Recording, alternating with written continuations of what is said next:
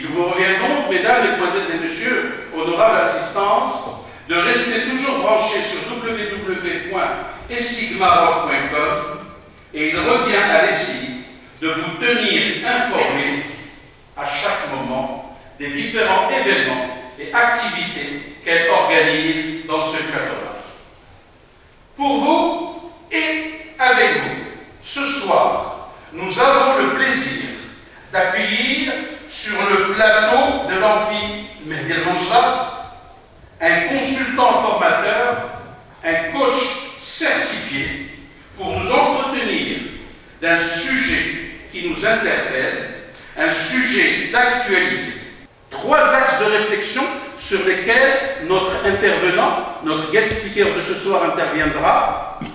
Comment intégrer le potentiel humain en étant sûr que ça soit un gage de succès? Il va nous entretenir également sur ce qu'on peut appeler la génération Y et les avantages de ce qu'on appelle communément le management intergénérationnel. Plus qu'un dirigeant, mieux qu'un leader, le manager coach a pour objectif de transcender les potentiels humains. Avec vous, ici, à l'Amphi Mehdi notre ami Serge, spécialiste du développement et du potentiel de l'entreprise, sous vos applaudissements. Je, voudrais commencer euh, mon intervention par, quelques remerciements parce que je, suis très heureux d'être là parmi vous ce soir, même un peu ému de, parler devant une assemblée euh, aussi dense. Et je suis là grâce à, des rencontres. Et je ne pouvais pas démarrer cette soirée sans, souligner cette rencontre. Et, la, première de cette rencontre, c'est celle avec euh, Benani, président du, groupe ESSI, que j'ai rencontré chez nous en France, du côté de Strasbourg. Et c'était le début d'une aventure, c'est grâce à lui que je découvre le Maroc, c'est grâce à lui que je suis là aujourd'hui. Donc vraiment, je, le remercie du fond de mon cœur, c'est un homme extraordinaire.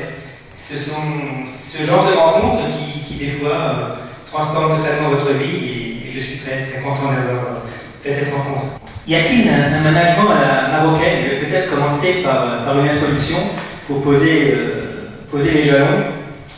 dans l'imaginaire marocain, le patron est souvent le self-made man qui a lutté contre vents et marées pour bâtir son empire et, toujours dans, l'imaginaire, quelqu'un qui refuse de partager son pouvoir, parfois même avec ses héritiers.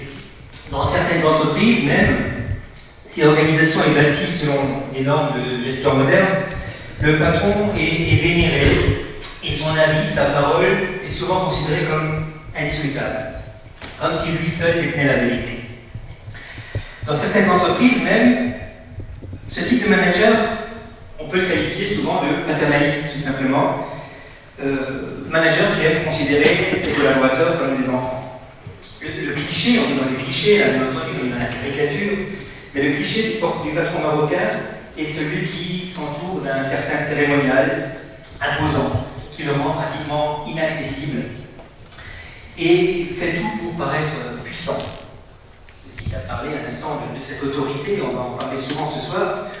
On voit souvent chez ce manager ou chez ce patron euh, marocain un ascenseur privé, un bureau impressionnant, une place de parking réservée, des WC privés, des toiles de maître accrochées à ses murs. Et il base quelque part son autorité sur euh, la contrainte et son charisme, son charisme personnel.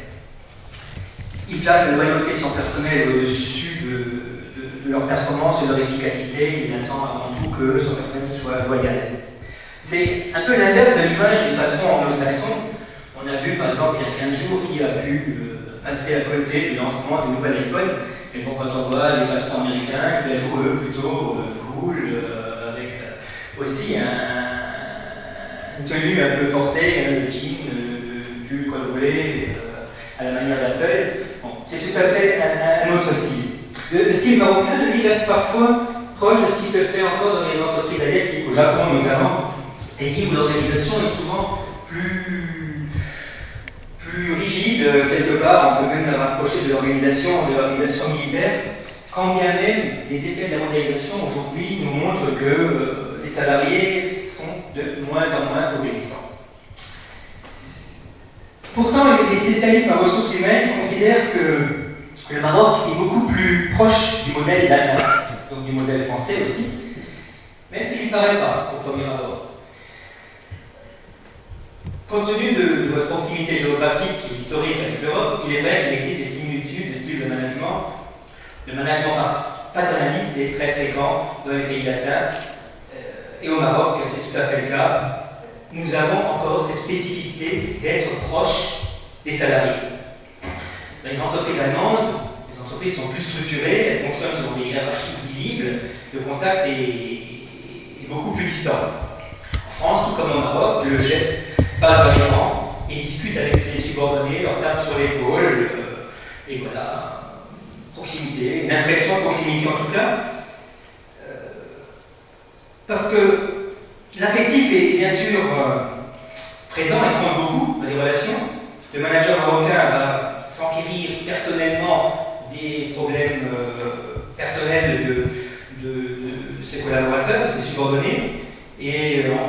Même les siens, il prend ses problèmes à son corps et, à sa charge.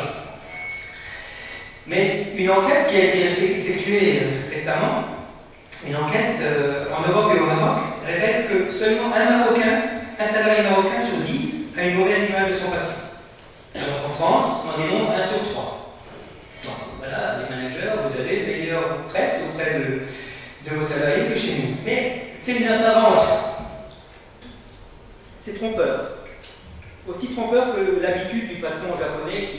dans son usine, met le bleu de travail pour faire croire qu'il est, qu'il est l'égal de, ses ouvriers quand il va visiter l'atelier.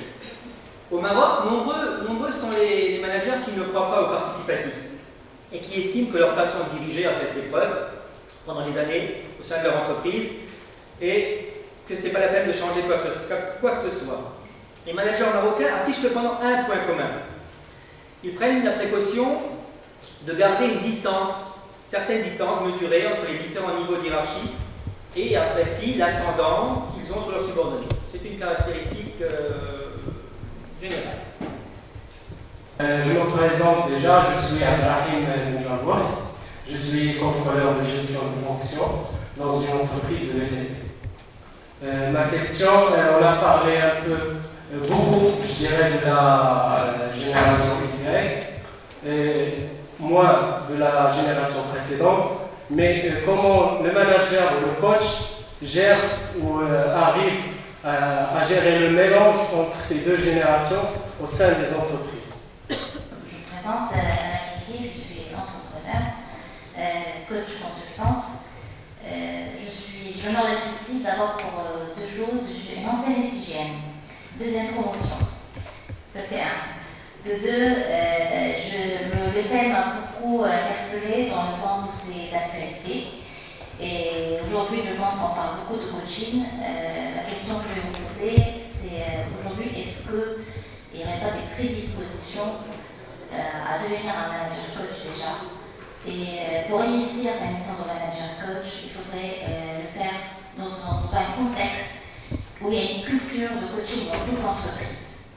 Si on est manager coach mais ça ne suit pas de l'autre côté, sur le N plus 1 ou le N 1, on ne peut pas euh, forcément garantir la réussite de, ce système de management. Merci.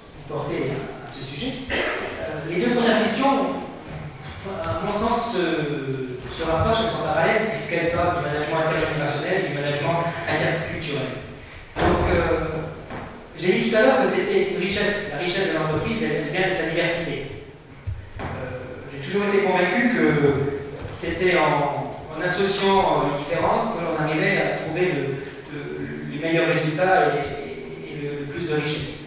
Euh, si on est tous pareils dans une entreprise, on va tous faire les mêmes erreurs, en tout cas euh, faire les mêmes actions, ne pas faire les mêmes actions. Ça vaut à tous les niveaux, ça vaut au niveau d'un gouvernement, ça vaut au niveau d'une entreprise. Donc, la difficulté, c'est de faire comprendre et de faire accepter les choses aux uns et aux autres.